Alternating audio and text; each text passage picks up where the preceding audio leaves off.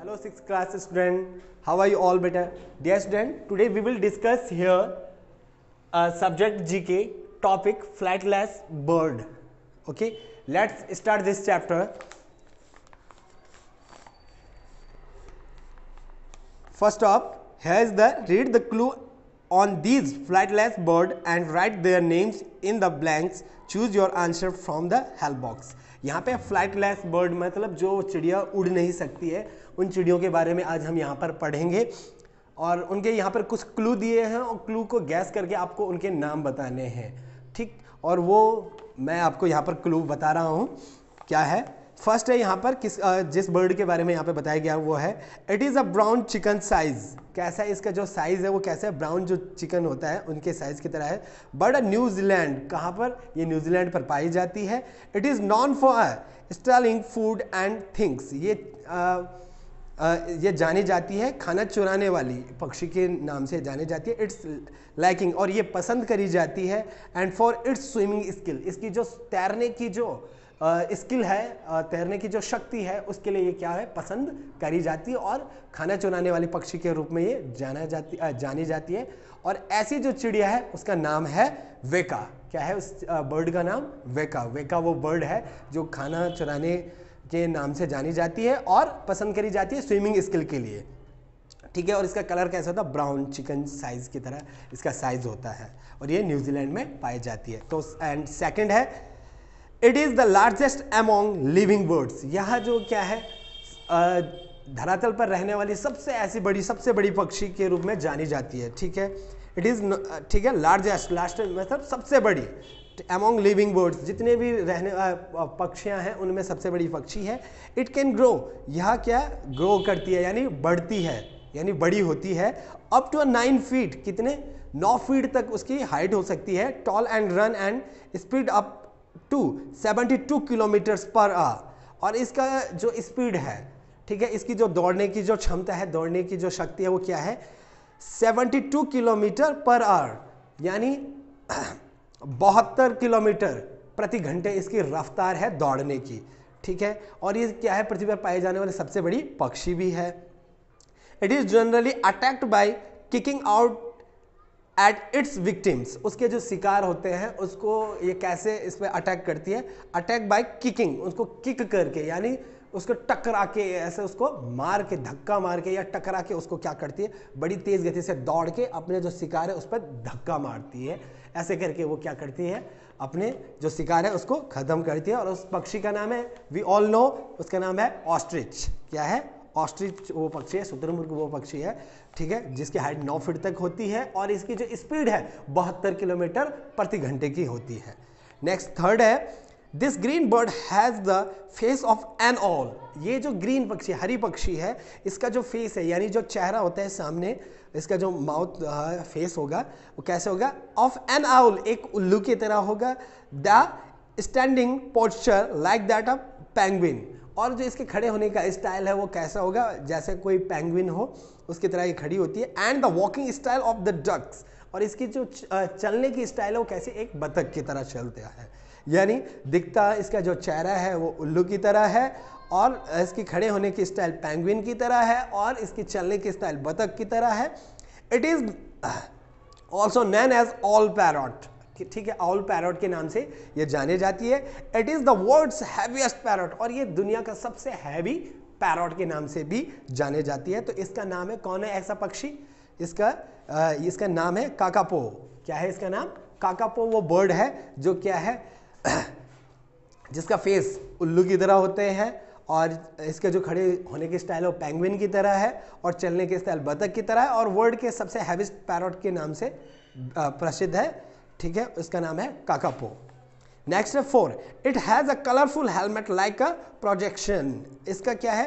Colourful helmet जो होते हैं। इसके सर पर आप देखेंगे, एक कलंक, जिसको हम कहते हैं भाग होता है इसका कलरफुल होता है जो, ठीक है? हेलमेट की तरह। On is head and has a three powerful toes और इसका जो पाँव की उंगलियों, पाँव पर तीन पावरफुल क्या होते हैं? Heads and has a three powerful toes ठीक है? इसके पाँव की पाँव पर तीन बड़ी स्ट्रांग क्या होती है? छोटी फिंगर्स होती है टोज ऑन ईच फुट प्रत्येक पैर पर। तीन पावरफुल क्या होंगी? टोज होंगे। पावरफुल यानी काफ़ी घातक कह सकते हैं आप जिसको। The innermost of which bears a long dagger like a nail और इसके जो ये uh, ये जो पावरफुल uh, जो टोज हैं ये काम करते हैं एक स्ट्रॉन्ग ठीक है लॉन्ग डेजर्ट्स लाइक नेल एक नाखून की तरह।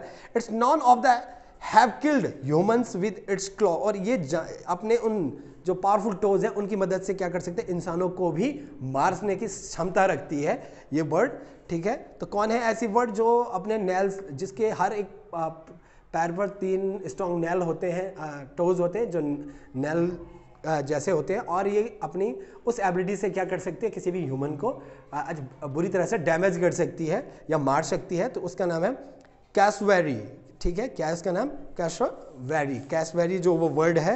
एंड द लास्ट है इसमें five it is a colourful bird with bright blue ये एक कलरफुल बर्ड है, जिसमें कई रंग होते हैं. ठीक है?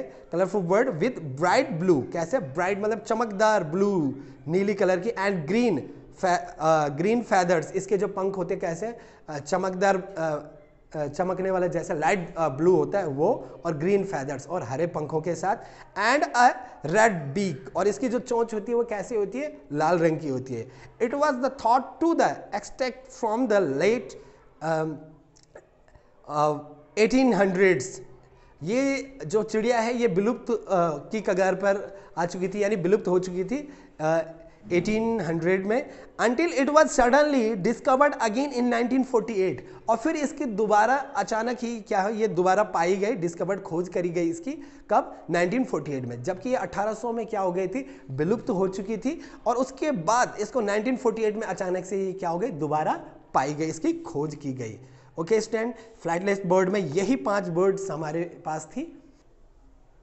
नेक्स्ट हम पढ़ते हैं इसमें जो हमारे पास है। Incredible Asia okay student next topic जो हमारे यहाँ पर है incredible Asia in GK subject incredible मतलब अतुल्य, यानी जिसकी कोई बराबरी नहीं, जिसकी कोई तुलना नहीं कर सकता, उसको कहा जाता है इनक्रेडिबल एशिया यानी जो हमारा एशिया महाद्वीप है, उसके बारे में यहाँ पर. तो क्या क्या फ़ेमस है उस एशिया महाद्वीप में? वो देखते हैं यहाँ पर.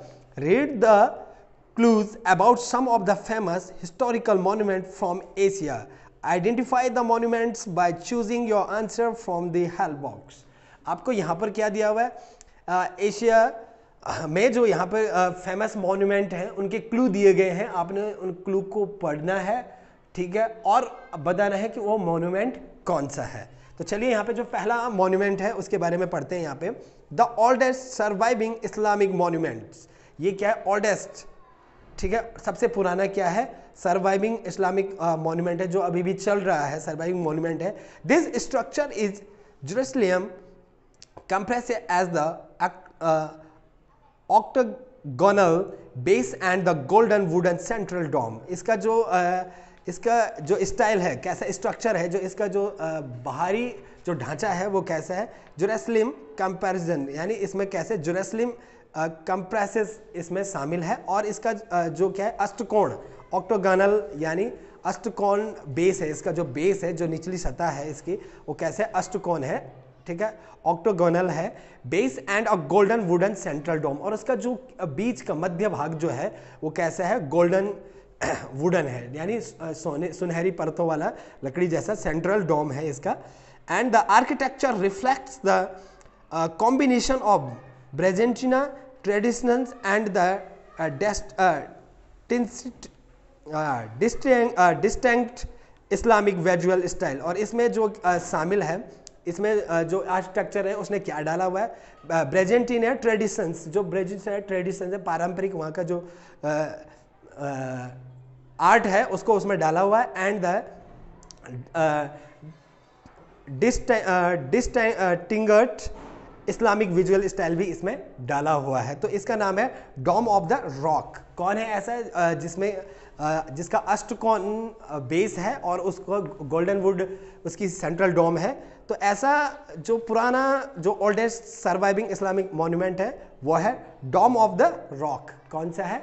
Dome of the rock dome of the rock के नाम से फ़ेमस है। सेकंड जो यहाँ पे क्लू दिया गया है जिस मॉन्यूमेंट के बारे में वो है क्लू uh, है उसके बारे में। This complex with various Hindu and Buddhist और मॉन्यूमेंट्स इन कम्बोडिया ये जो कॉम्प्लेक्स या मॉन्यूमेंट है, ये मिक्सचर है। किस किस का? Various Hindu and Buddhist Hindu और बुद्धिस्ट का ये मिक्सचर है। मॉन्यूमेंट्स इन कम्बोडिया कहाँ पर है? ये कम्बोडिया में है। Is one of the most important archaeological archaeological मतलब पुरातत्विक होता है, जिसमें पुरात पुरातत्विक है। Sites in South East Asia ये कहाँ पर है? साउथ ईस्ट एशिया में it buries the glory of powerful Khmer dynasty to Cambodia और ये जो बनाया गया है, इसको ये दिखाता है अभी भी किसके बारे में? जो पावरफुल खेमेर डेनेस्टी थी, उसके बारे में, जो खेमेर जो साम्राज्य था, उसके बारे में, उसका एक क्या है, प्रतिनिधित्व करता है, पुरातत्व है ये, ठीक है? कौन सा?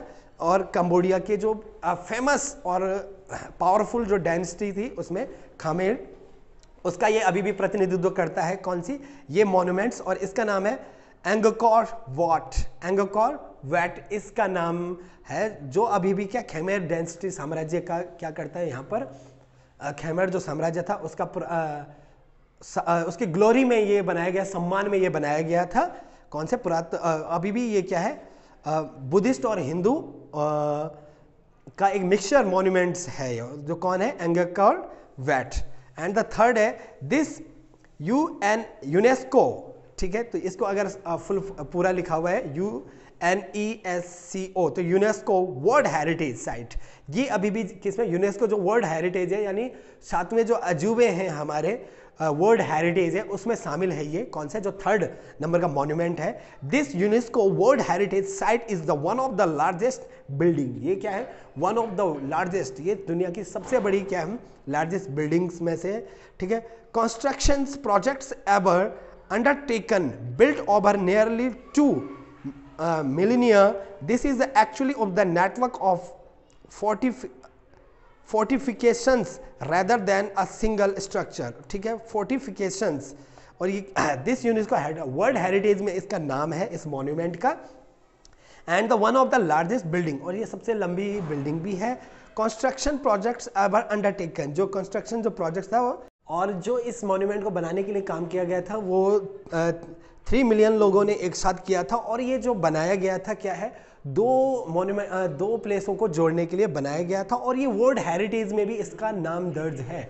यानी ये सात अजूबों में भी है, जिसका नाम है ग्रेट वॉल ऑफ़ चाइना क्या है? किस नाम से फ़ेमस है?